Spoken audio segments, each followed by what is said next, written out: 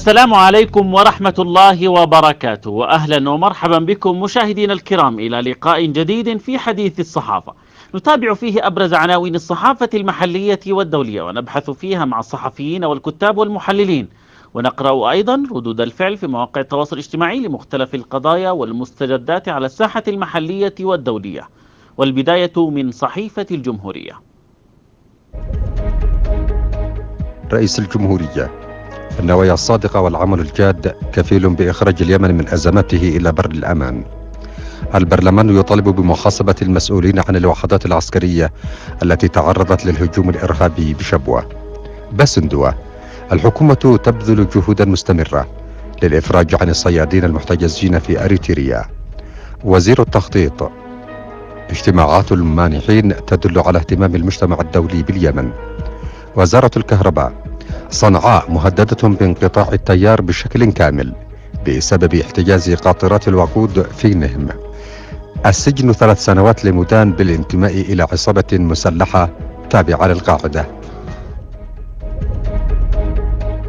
صحيفة أخبار اليوم. القضاء العسكري يحقق في شراء الدفاع صابون بنصف مليار ريال. مجلة أمريكية. الأعمال العدائية المفتوحة للحوثيين تهدد الاستقرار باليمن. صحيفة يمن فوكس. اشتباكات عنيفة بين القبائل ومسلحي القاعدة تقتل وتصيب أكثر من 15 فردا بمارب. الناخبي لا يمكن أن يصبح اليمن رقما في الجزيرة العربية والعالم إلا موحدا. الإندبندنت موسكو باعت لمصر وليبيا واليمن صواريخ غاز سردين.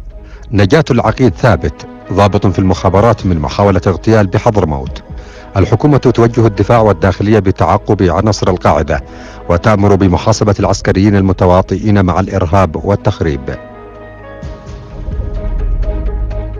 صحيفة المصدر مصدر قضائي. لا يوجد دعوى أو حكم بإبطال قرار تشكيل هيئة مكافحة الفساد. محافظ حضرموت السابق. فكرة الإقليم الشرقي حظيت بتأييد من الداخل والخارج. الحكومة تحيل انتهاء شرعية المجالس المحلية إلى الرئيس. في المواقع الإخبارية والإلكترونية نستعرض العناوين التالية. الصحوة نت. سلفي صعدة يطالبون الرئيس واللجنة الرئاسية بسرعة تنفيذ الاتفاق مع جماعة الحوثي. مجلس الوزراء ينتظر رد الرئيس بشأن المجالس المحلية المنتهية فترتها القانونية. عدن أونلاين. أهالي جردان بشبوة. مدير عام المديرية يرفض الالتزام الوظيفي ويدير عمله من خارج المحافظة.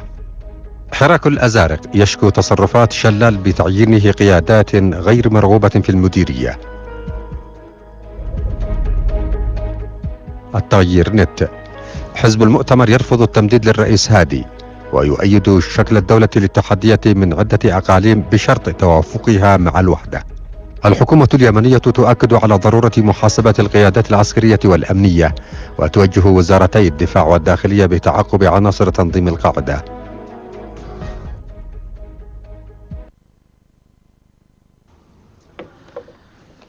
في الصحافة العربية والعالمية نستعرض أهم العناوين المهتمة بالشأن اليمني. القدس العربي عنب اليمن بأربعين وجها ويبحث عن طلة على الخارج. الحياة السعودية اليمن مقتل أربعة من القاعدة وثلاثة مسلحين قبليين في مارب. ولتسليط الضوء على هذه العناوين وغيرها معنا هنا في الاستوديو الكاتب والصحفي عبد الله دوبلة. مرحبا بك أستاذ عبد الله مرحبا بك. في البداية آه، مجلة أمريكية تتحدث وتقول الأعمال العدائية المفتوحة للحوثيين تهدد الاستقرار باليمن. ما قراءتك لهذا العنوان؟ بطبيعة الحال الحوثي يعني واخذ الآن أكثر من اشتباكات مع أكثر من طرف اشتباكات في صعدة اشتباكات آه، في عمران اشتباكات في الرضمة توسع في تعز توسع في تهامة. آه، هذه الأعمال العدائية الحاصلة أو الأعمال العدائية المستقبلية للحوثي بطبيعة الحال تهدد استقرار وأمن البلد. كيف يمكن قراءة أن الحوثي يعني يدخل الحوار الوطني وكذا لكن في المقابل يتوسع على الأرض ينتهك آه، الكثير من الحرمات يعتدي على السلفيين في دماج على القبائل في العصيمات. وكذلك في الرضمة في إبا التي يعني من المستحيل أن يكون هناك يعني للحوثي له تواجد بهذا الشكل يعني. هو الحوثي بطبيعة الحال هو كأمر واقع يعني يجب التعامل مع الحوثي كطرف سياسي. آه، ولهذا الأمر تم آه، إدراجه في الحوار الوطني. لكن كأمر واقع هناك الحوثي يتسلح بأسلحة ثقيلة يتمدد عسكريا. وضع الدولة السياسي والعسكري هو ضعيف فعلا يعني. ولن تكون الدولة قادرة على بسط سلطتها على جميع الأراضي اليمنية. ولذلك الحوثي يتوسع في حروبه في عدة من منطقة المواطنين والأهالي القبليين الذين يتواجهون الحوثي. هم يجدون نفسهم مضطرين لمواجهة هذا التوسع والتمدد. الحوثي. لكن بطبيعة الحال أنا أعتقد أن كما قال الزميل محمد العلاي أن الحوثي فقاعة صابون كبيرة وإن كانت تسبب مشاكل لكن في الأخير هي ستنتهي آه، بحكم ال بحكم ال سيرورة التاريخ وسنن التاريخ. طيب الحوار الوطني ماذا عليه أن يعمل تجاه هذه الأعمال وتجاه حتى الجماعات المسلحة؟ الحوار الوطني ليس جهة تنفيذية جهة ليس جهة سيادية هذه المسؤولية مسؤولية الدولة أجهزة الدولة. حين تكون الدولة قادرة آه، على بسط نفوذها ستبسط نفوذها بدون أن يكتب الحوار الوطني حرفا واحدا أو إن كتب. هذه من بديهيات وظائف الدولة هو بسط سيادتها على جميع أراضيها. يعني المسؤولية تقع على عاتق الدولة لأن من لا ليس لا أقول مسؤولية هي هي وظيفة. وظيفة أي دولة. آه، هي البسط آه، سلطتها على أراضيها. لكن بما أن الدولة آه، تمر بمشاكل تجدها مثل هذه الجماعات الطفيلية المناخ, المناخ المناسب لكن حين تكون دولة قادرة هي بطبيعة, بطبيعة الحال ستبسط نفوذها. إذا ما انتقلنا إلى عنوان آخر وهو عن المجالس المحلية. الحكومة تحيل انتهاء شرعية المجالس المحلية إلى الرئيس. ما قراءتك لي؟ هل يمكن الرئيس أن يتخذ في هذا القرار أم أنه سيبقيها؟ لا قبل قبل الحديث عن, عن ماذا يستخدمه الرئيس. يجب أن نتكلم عن المجالس المحلية الوضع القانوني لها. هذه المجالس المحلية كان قد انتهى فترتها قبل سنة قبل, ست قبل سنتين. آه، تم التمديد لها مرة واحدة. القانون يعالج مثل هذه المسائل ويقول يمدد لها مرة واحدة. الآن وضع معقد وشائك. أعتقد أن المرحلة جميعا هي تخضع لاتفاق سياسي. توافق. آه لم تش... لم يشمل مسألة المجالس المحلية. بإعتبارها كانت قائمة وشرعية في ذلك الوقت. لكن أعتقد أن يجب أن يشملها الاتفاق السياسي أيضا. يعني هذه المسألة لا يمكن القانون كافي آه، بحلها لوحده لذلك نمر بإشكالية كبيرة. ليست هي انتخابات المجالس المحلية وإنما انتخابات آه، رئاسية, الرئاسية والبرلمانية. ولذلك البلد هل مهيأ الآن؟ السؤال الأهم هل مهيأ لخوض انتخابات بشكل طبيعي أم برأيك هل هو مهيأ؟ لا لا أنا في باعتقاد شخصي لا. لكن نحتاج إلى مرحلة تأسيسية ثانية. وهذا يمكن هناك كثير من الحديث حولها. مرحلة بين انتهاء المرحلة الانتقالية اللي هي الحاصلة الآن وما قبل الوضع النهائي. طبعا آه، بالطبع المرحلة الانتقالية لم آه، لم تكتمل بدليل أنها لم آه، تعمل ما ما, ما نص عليها لا لا هو السؤال ف... هل سنذهب للانتخابات حين الانتهاء من دستور جديد؟ سنذهب للانتخابات حين نتفق على إجراء انتخابات. لكن هل أنجزنا دستورا جديدا؟ لا. هل آه، القوى السياسية مهيئة للاتفاق على خوض انتخابات قريبا؟ أعتقد لو لذلك سيكون الوضع السياسي الراهن هو آه، القائم في المرحلة القادمة. هل هناك هذا التحليل الشخصي. هل هناك ضمانات حتى إذا ما آه، مدد ويعني وحصل هناك مرحلة لا لا تأسيسية لا, لا, لا, لا نحتاج تمديد. لا. وإنما انتخابات من جديد. لكن هل هناك ضمانات من تنفيذ ما ما نصت عليه المبادرة الخليجية وآلية التنفيذية في إصدار قانون للعدالة الانتقالية في تشكيل لجنة هناك هناك أشياء كثيرة لم تحقق بعد يعني.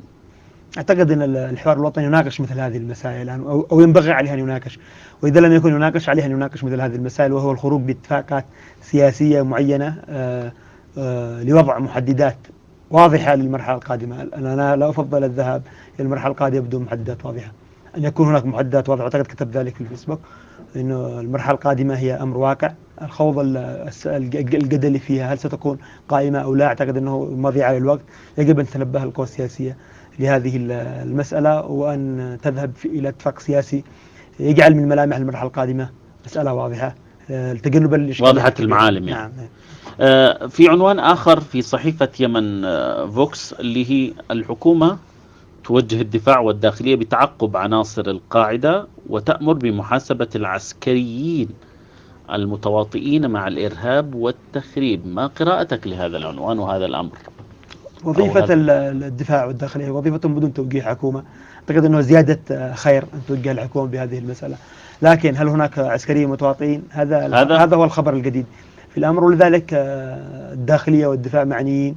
آه، بكشف. بإعطاء أسماء حول هؤلاء المتورطين. وتقديمهم لأنه بالعدالة يعني باعتقاد يعني إطلاق إطلاق مثل هذا الاتهام هو إتهام خطير.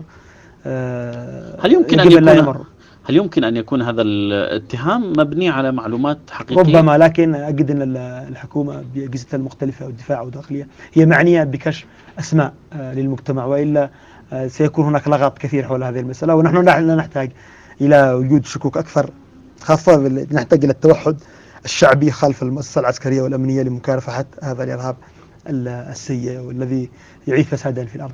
والذي يزهق الأرواح, الأرواح برأيك من يقف وراء الأحداث التي حدثت في شبوة وأخيرا؟ كنا نخوض نقاش سياسي قبل فترة أعتقد أمس حول مسألة ظهور واختفاء مثل هذه الأعمال التفكير الإرهابية مثلا آه، تقطع للنفط آه، قطع الطرقات استهداف العسكريين آه، ستلاحظ كما يلاحظ الجميع أن هذه الأعمال فجأة تنشط بشكل كبير وفترة معينة تكون هادئة. أعتقد أن الأمر علاقة بالوضع السياسي الراهن و يعني أن هناك أطراف بعض الأطراف السياسية لكن لا أستطيع أن أتهم جزافا بدون أدلة والمعني بهذا الأمر بتقديم أدلة كذلك هي الحكومة.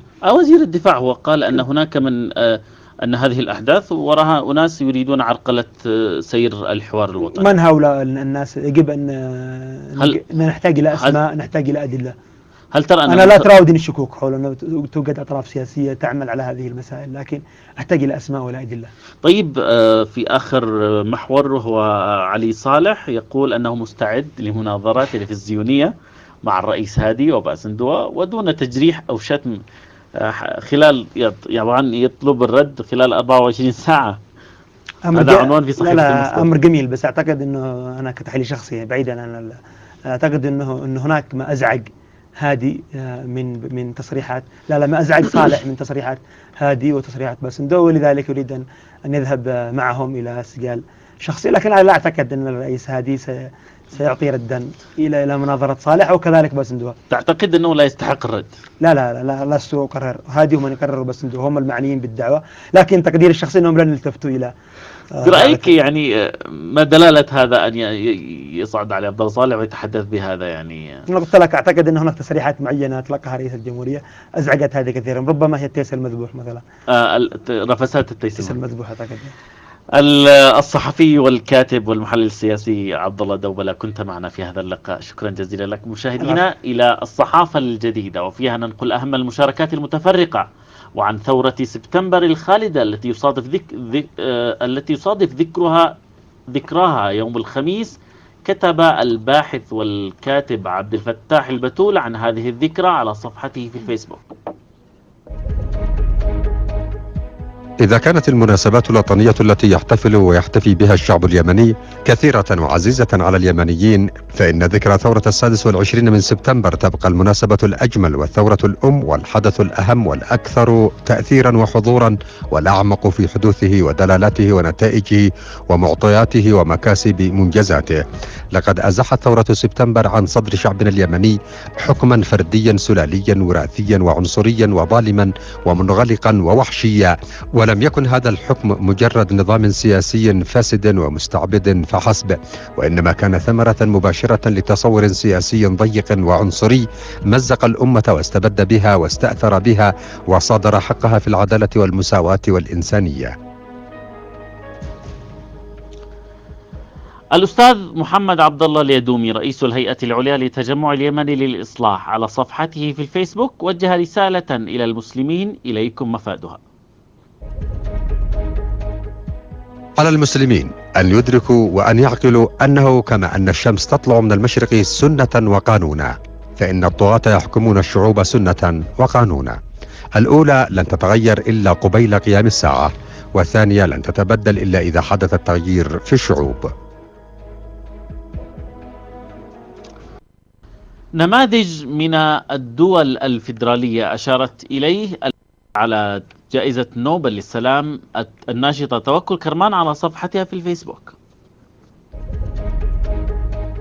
أمريكا دولة فيدرالية والصومال كذلك. هذا ما يقوله الدستوران الأمريكي والصومالي على السواء. والآن يمكننا القول أن الفيدرالية نظام للحكم فشلوه ونجاحه متوقف على مدى التزامه بمبادئ الرشد. من تحقيق سيادة القانون وكفالة المساءلة والشفافية والمشاركة واحترام حقوق الإنسان ومكافحة الفساد وغير ذلك من معايير ومبادئ الحكم الرشيد المتعارف عليها. نجاحها ليس مسلمة غير قابلة للتشكيك والقول بفشلها الحتمي هو الآخر ليس مسلمة كذلك. تذكروا فقط أن أمريكا والهند وألمانيا والعديد من كبريات الديمقراطيات والاقتصاديات العالمية نظامها فيدرالي. تذكروا أيضا أن الصومال وأفغانستان والعديد من الدول الفاشلة نصت دساتيرها على أن نظامها فيدرالي كذلك. يمكن القول أن الفيدرالية وسيلة لتوسيع المشاركة في السلطة وزيادة مساحة دائرة اتخاذ القرار لكنها ليست وسيلة لكفالة النزاهة والرشد وسيادة القانون فلذلك وسائل أخرى متعارف عليها يتعين الأخذ بها. فإذا لم يكن النظام جيدا ونزيها تصبح الفيدرالية وسيلة للمشاركة في الفساد وأداة فاعلة لتوسيع نطاق إساءة استغلال السلطة.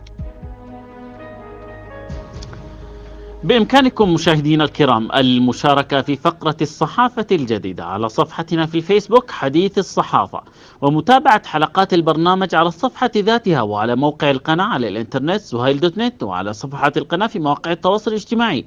الفيسبوك وتويتر واليوتيوب. إلى هنا نكون قد وصلنا إلى نهاية لقاء حديث الصحافة لهذا اليوم. دمتم في رعاية الله.